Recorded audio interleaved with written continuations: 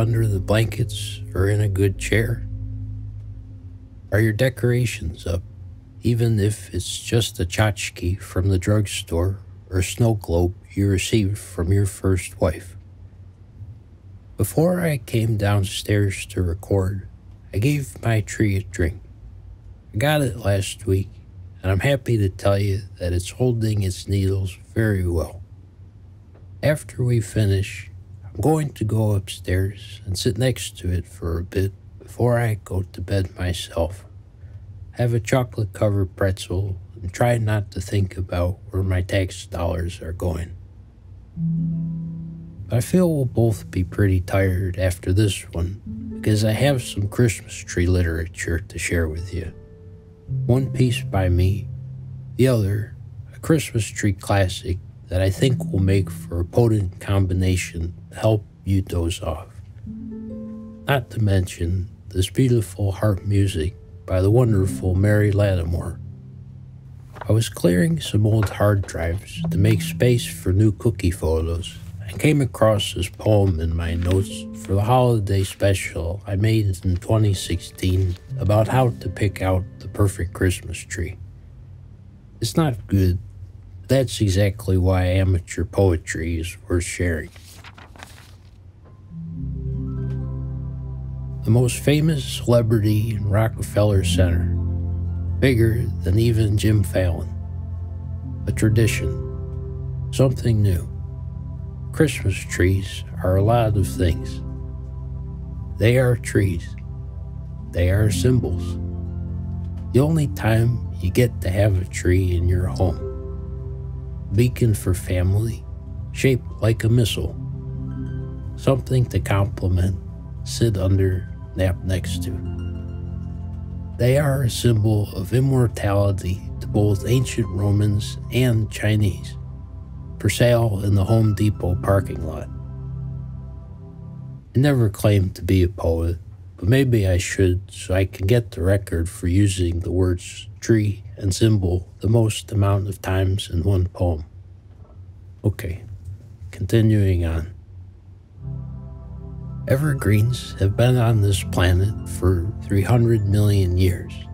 They can live for thousands of human years but the ones in our home have been cut at eight years.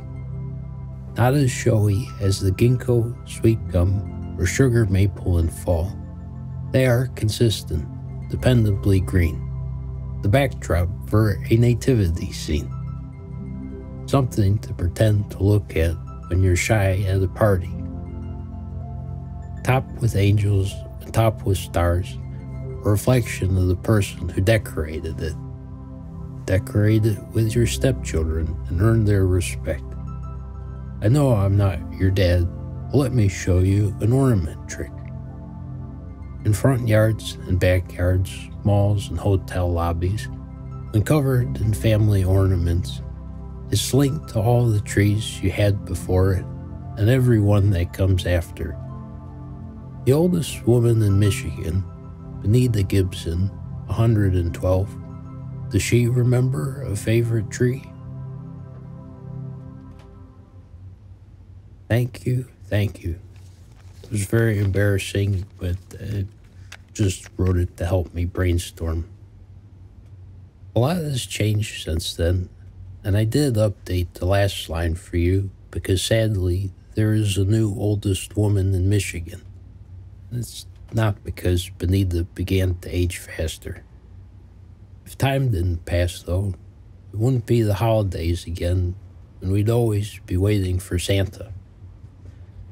It's not always easy to sleep this time of year, laying awake deciding whether to serve wine braised brisket or salmon with dill for your Hanukkah party, or just thinking about presents like my friend Whit.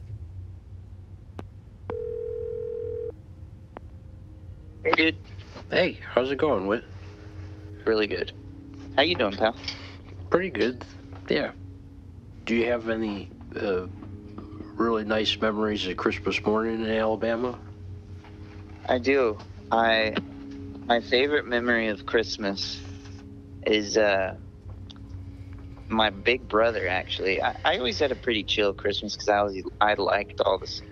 It, it was pretty easy to get me a present as a kid. It was like I was obsessed with Batman, so they just would get me something Batman related. Yeah. That, that was a blast. Or then I like skating, and so they'd get me a skateboard, and, and that was that.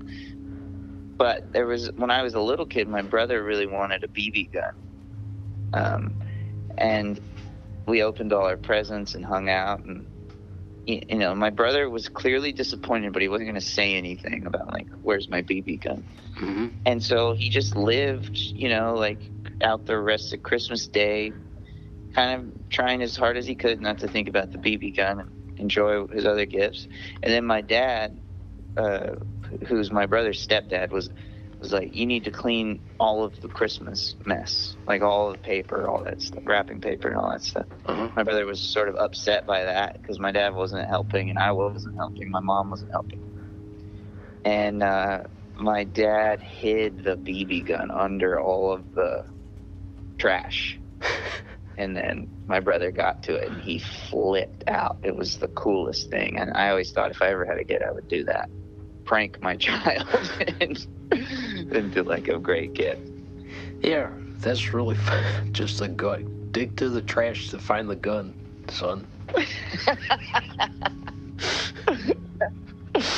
Yeah. He did. He dug through a bunch of trash, found the gun, and then we immediately went outside. He killed a squirrel. That's how. How old were you? How old were you at that point? I must have been five, and so he was ten. Wow, that's a pretty distinct Christmas memory. And do you remember how did you feel when the, you saw the squirrel get shot? I felt awful, and I immediately knew, like, oh, I don't ever want a gun of any kind. I think my brother probably felt the same way. I don't remember him playing with the gun a lot. That's so funny. You've learned he, he was given the power of death and then learned the responsibility on the same exact morning. Well, yeah, all within an hour. Uh, so, gotta ask before we go do you have a favorite comfort movie? Yeah. Um, yeah, it's a hard question. I, I would say probably my number one is Hobbit Unexpected Journey. Great choice. It's really good. That was my friend Whitmer Thomas, who shares my passion for the holidays. I like this time of year, in real life, but also for inspiration. There's that theory that a writer or filmmaker has only a few melodies or themes they will revisit over and over their entire career. And if mine is Christmas trees, I'm okay with that. I know I can find peace next to a Christmas tree, lit up at night when everyone else is in bed. I know I can find peace taking an evening walk in the snow. If those are my things, along with fires and soft light, so be it. A little simple and boring, but sometimes I feel lucky to be boring, lucky to have some peace, and I wish it for you and everyone else. Well, almost.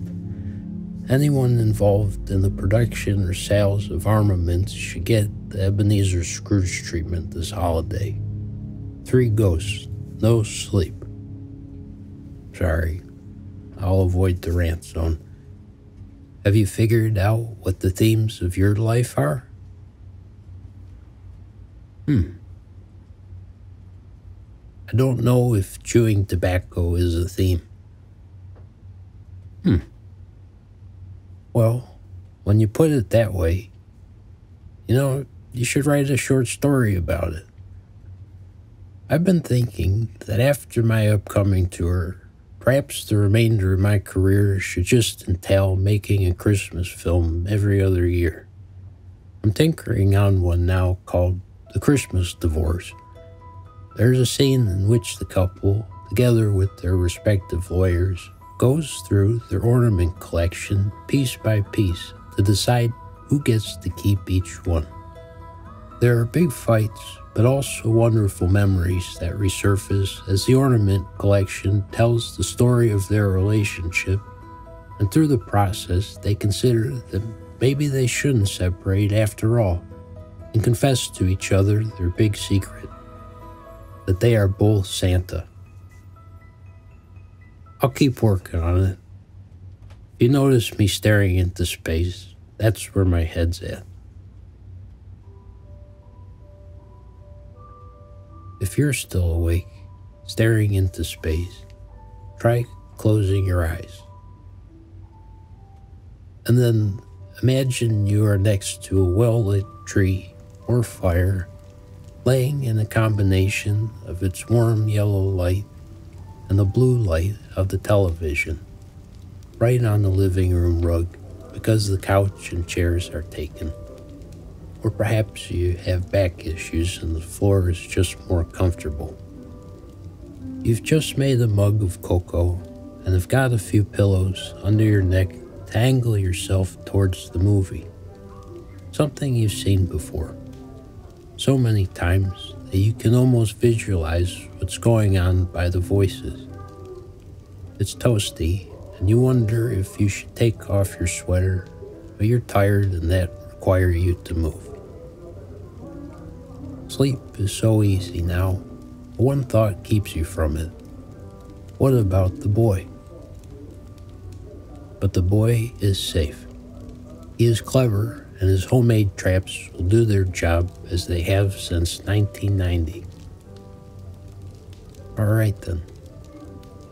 Dissolving into the fuzz of warmth and soft light, begin to dream what it'd be like to be a Christmas tree yourself. What kind would you be? A big one? A small one? On a family tree farm? Or in the woods. Let me help by sharing a fairy tale from 1845 by Hans Christian Andersen that does just that. It's not as sweet as The Night Before Christmas, and unlike The Snowman, an old friend of a film that also deals with impermanence and mortality, this story handles the subject in a more peculiar, even harsh way almost to the point where it feels unnecessary, but that's why I find it humorous and interesting, especially the last sentence.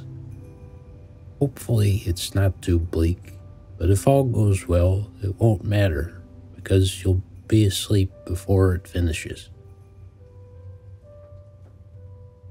The Fir Tree by Hans Christian Andersen, translated by Jean Hersholt. Out in the woods stood such a pretty little fir tree. It grew in a good place, where it had plenty of sun and plenty of fresh air. Around it stood many tall comrades, both fir trees and pines. The little fir tree was in a headlong hurry to grow up. It didn't care a thing for the warm sunshine or the fresh air, and it took no interest in the peasant children who ran about chattering when they came to pick strawberries or raspberries.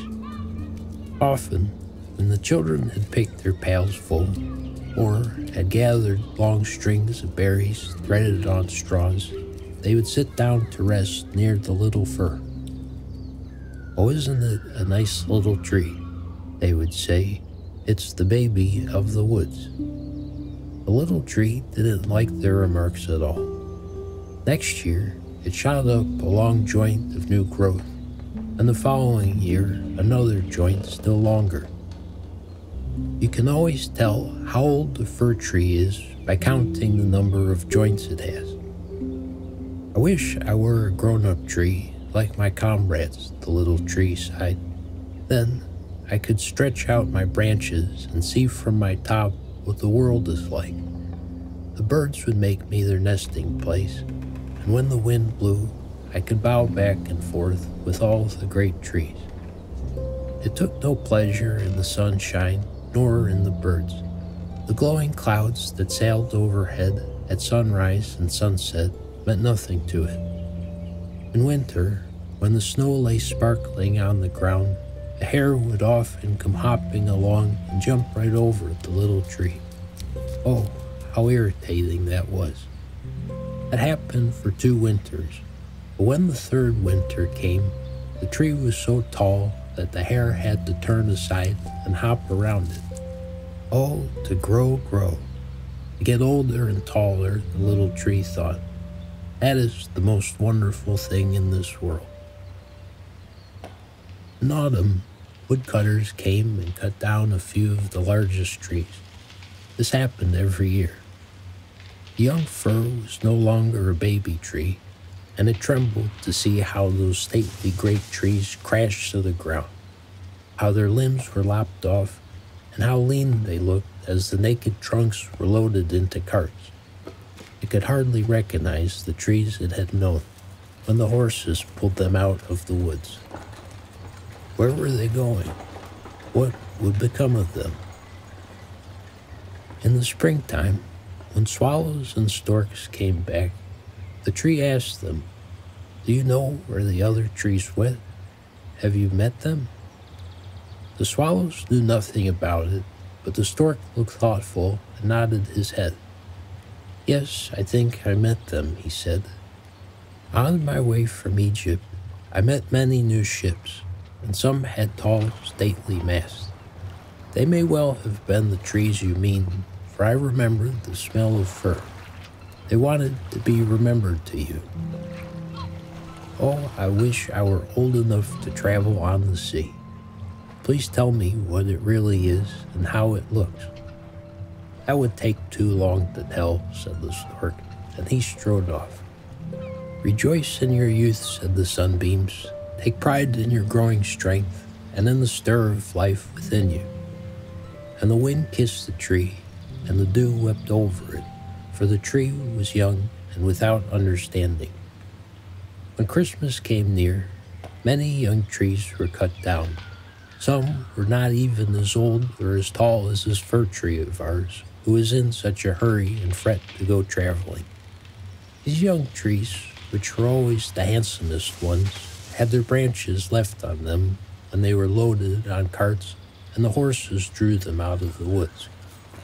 Where can they be going? The young fir tree wondered. They are no taller than I am.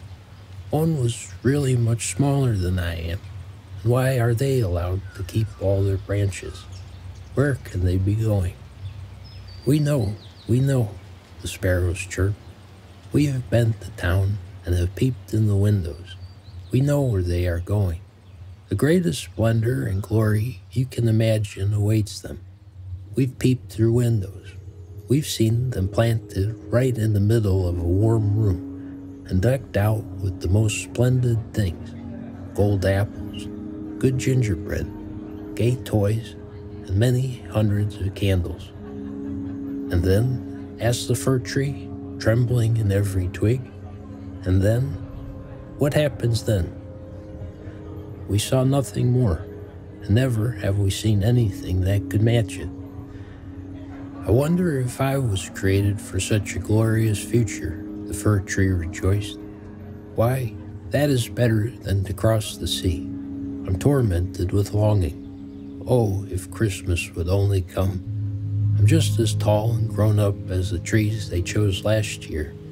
How I wish I were already in the cart on my way to the warm room where there's so much splendor and glory. Then, then something even better, something still more important is bound to happen. Why should they deck me so fine? Yes, there must be something still grander. But what? Oh, how I long. I don't know what's the matter with me. Enjoy us while you may, the air and sunlight told him. Rejoice in the days of your youth, out here in the open. But the tree did not rejoice at all. It just grew. It grew and was green both winter and summer, dark evergreen. People who passed it said, There's a beautiful tree. And when Christmas time came again, they cut it down first. The axe struck deep into its marrow. The tree sighed as it fell to the ground It felt faint with pain. Instead of the happiness it had expected, tree was sorry to leave the home where it had grown up. It knew that never again would it see its dear old comrades, the little bushes and the flowers about it, and perhaps not even the birds. The departure was anything but pleasant. The tree did not get over it until all the trees were unloaded in the yard, and it heard a man say, That's a splendid one. That's the tree for us. Then two servants came in in fine livery and carried the fir tree into a big splendid drawing room. Portraits were hung all around the walls. On either side of the white porcelain stove, great Chinese vases with lions on the lids of them. There were easy chairs, silk covered sofas, and long tables strewn with picture books and with toys that were worth a mint or money, or so the children said. The first tree was planted in a large tub filled with sand, but no one could see that it was a tub because it was wrapped in a gay green cloth and set on a many colored carpet. How the tree quivered. What would come next? The servants and even young ladies helped it on with its fine decorations. From its branches they hung little nets cut out of colored paper, and each net was filled with candles. Gilded apples and walnuts hung in clusters as if they grew there, and a hundred little white, blue, and even red candles were fastened to its twigs. Among its green branches swayed dolls that it took to be real living people, for the tree had never seen their like before. And up at its very top was set a large gold tinsel star. It was splendid, I tell you, splendid beyond all words. Tonight, they all said, ah, tonight how the tree will shine. Oh, thought the tree, if tonight would only come. If only the candles were lit, and after that, what happens then? Will the trees come trooping out of the woods to see me? Will the sparrows flock to the windows? Shall I take root here and stand in fine ornaments all winter and summer long? That was how much you knew about it. All its longing had gone to its bark and set it to arching, which is as bad for a tree as a headache is for us.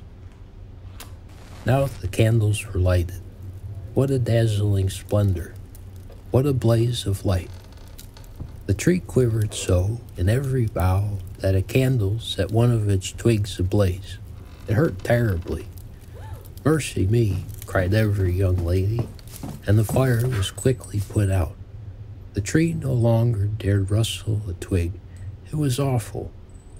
Wouldn't it be terrible if it were to drop one of its ornaments? Its own brilliance dazzled it. Suddenly, the folding doors were thrown back, and the whole flock of children burst in as if they would overturn the tree completely. Their elders marched in after them more sedately. For a moment, but only for a moment, the young ones were stricken speechless. Then they shouted till the rafters rang. They danced about the tree, plucked off one present after another. What are they up to? The tree wondered. What will happen next? As the candles burned down to the bark, they were snuffed out one by one, and the children had permission to plunder the tree.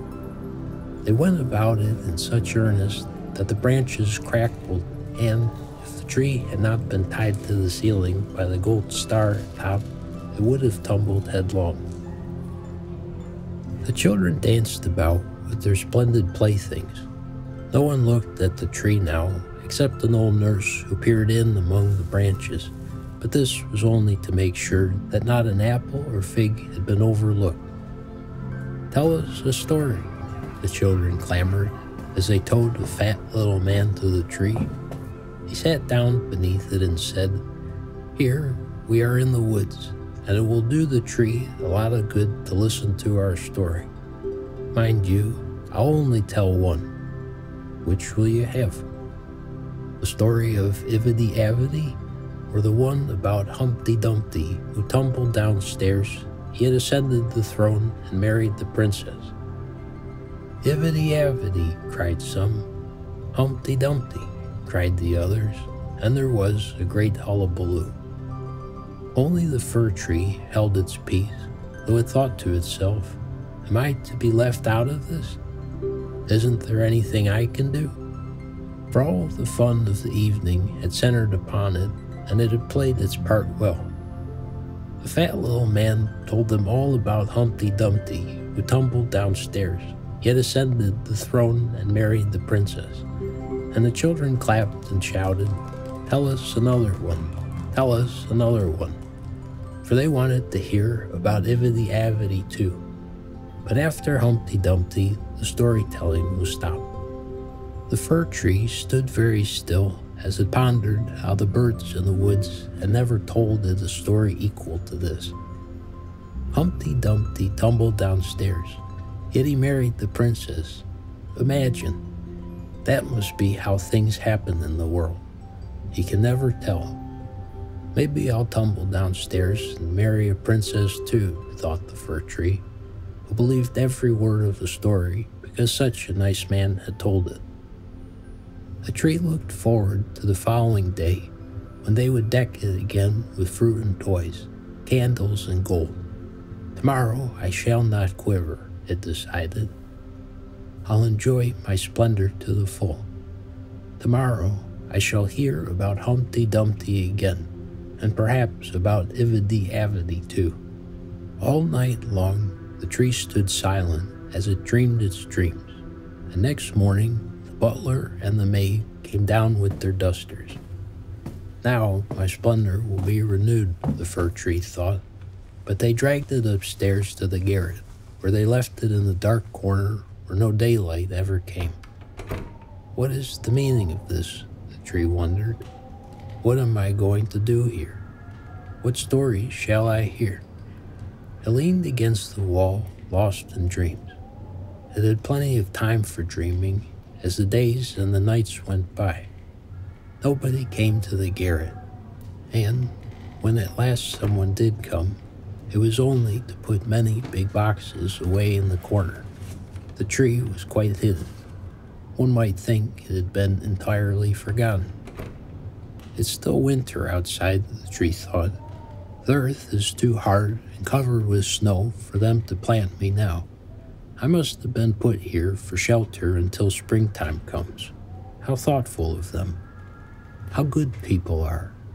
Only, I wish it weren't so dark here and so very, very lonely.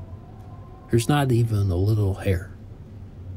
It was so friendly out in the woods when the snow was on the ground and the hare came hopping along. Yes, he was friendly even when he jumped right over me, though I did not think so then. Here, it's all so terribly lonely. Squeak, squeak, said the little mouse just then. He crept across the floor, and another one followed him. They sniffed the fir tree and rustled in and out among its branches. It is fearfully cold, one of them said. Except for that, it would be very nice here, wouldn't it, the old fir tree? I'm not at all old, said the fir tree. Many trees are much older than I am. Where did you come from? the mice asked him. And what do you know? They were the most inquisitive creatures. Tell us about the most beautiful place in the world. Have you been there? Were you ever in the larder where there are cheeses on shelves and hams that hang from the rafters? It's the place where you can dance upon tallow candles where you can dart in thin and squeeze out fat. I know nothing of the place, said the tree, but I know the woods where the sun shines and the little birds sing. Then it told them about its youth. The little mice had never heard the like of it. They listened very intently and said, My, how much you have seen, and how happy it must have made you. I, the fir tree thought about it Yes, those days were rather amusing. And he went on to tell them about Christmas Eve when it was decked out with candies and candles. Oh, said the little mice, How lucky you have been, you old fir tree. I'm not old at all, it insisted. I came out of the woods just this winter, and I'm really in the prime of life. At the moment, my growth is suspended. How nicely you tell things, said the mice. The next night, they came with four other mice to hear what the tree had to say. The more it talked, the more clearly it recalled things, and it thought those were happy times. But they may still come back. They may come back again. Humpty Dumpty fell downstairs, and yet he married the princess. Maybe the same thing will happen to me. I thought about a charming little birch tree that grew out in the woods. To the fir tree, she was a real and lovely princess. Who is Humpty Dumpty? The mice asked it.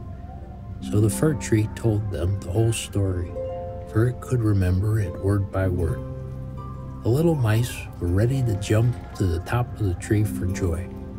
The next night, many more mice came to see the fir tree, and on Sunday, two rats paid it a call, but they said that the story was not very amusing. This made the little mice sad that they began to find it not so very interesting either. Is that the only story you know? The rats asked. Only that one, the tree answered.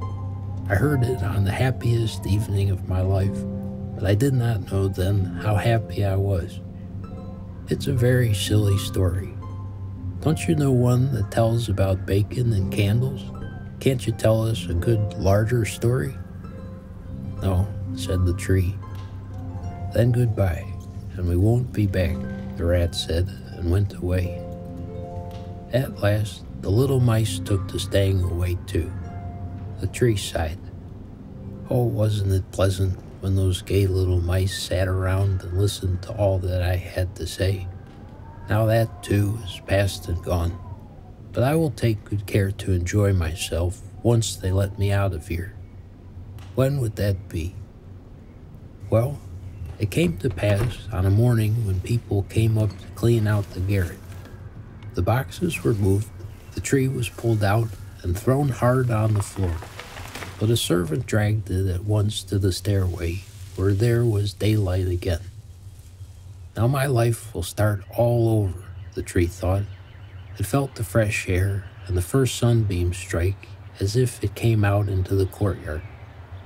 This all happened so quickly, and there was so much going on around it, that the tree forgot to give even a glance at itself. The courtyard adjoined the garden, and flowers were blooming. Great masses of fragrant roses hung over the picket fence. The linden trees were in blossom, and between them the swallows skimmed past calling, Talira, lira, lee, my love's come back to me. But it was not the fir tree of whom they spoke. Now I shall live again, it rejoiced, and tried to stretch out its branches. Alas, they were withered, brown, and brittle. It was tossed into a corner among weeds and nettles, but the gold star that was still tied to its top sparkled bravely in the sunlight. Several of the merry children who had danced around the tree and had taken such pleasure in it at Christmas were playing in the courtyard. One of the youngest seized upon it and tore off the tinsel star. Look what is still hanging on that ugly old Christmas tree, the child said, and stamped upon the branches until they cracked beneath his shoes. The tree saw the beautiful flowers blooming freshly in the garden. It saw itself wished that they had left it in the darkest corner of the garret. It thought of its own young days in the deep woods, and of the merry Christmas Eve, and of the little mice who had been so pleased when it told them the story of Humpty Dumpty. My days are over and past, said the poor tree. Why didn't I enjoy them while I could? Now they are gone, all gone. A servant came in and chopped the tree into little pieces. These heaped together quite high. The wood blazed beautifully under the big copper kettle, and the fir tree moaned so deeply that each groan sounded like a muffled shot. That's why the children who were playing nearby ran to make a circle around the flames, staring into the fire and crying, Piff paff. But as each groan burst from it, the tree thought of a bright summer day in the woods, or a starlight winter night. It thought of Christmas Eve and thought of Humpty Dumpty, which was the only story it ever heard and knew how to tell. And so the tree was burned completely away. The children played on in the courtyard. The youngest child wore on his breast the gold star that had topped the tree on its happiest night of all. But that was no more, and the tree was no more. There's no more to my story. No more, nothing more. All stories come to an end.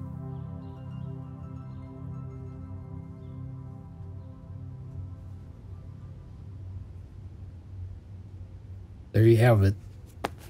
The Fir Tree by Hans Christian Andersen. Quite an interesting ending. I'm sorry if I interpreted it that way. It felt like he was writing with a shrug. It's just, yeah, just a little rough.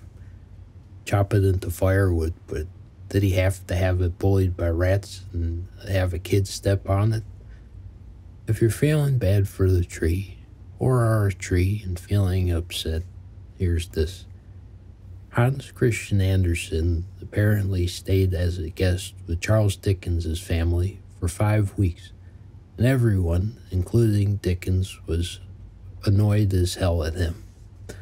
So, there.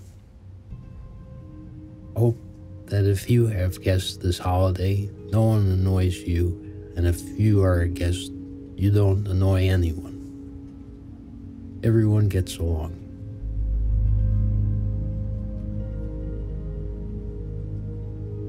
Music by Mary Lattimore. Sound design by Ryan Dann. Guest appearance by Whitmer Thomas. Produced by Grant Farsi for Chestnut Walnut. Thanks to our patrons for making this episode possible, but especially to Jake B., Jake W., Jonathan P., Beanie, Angst for the Memories, Jamie D., Mega Man Football, Madison H., Corey S., Anthony W. Happy holidays and good night.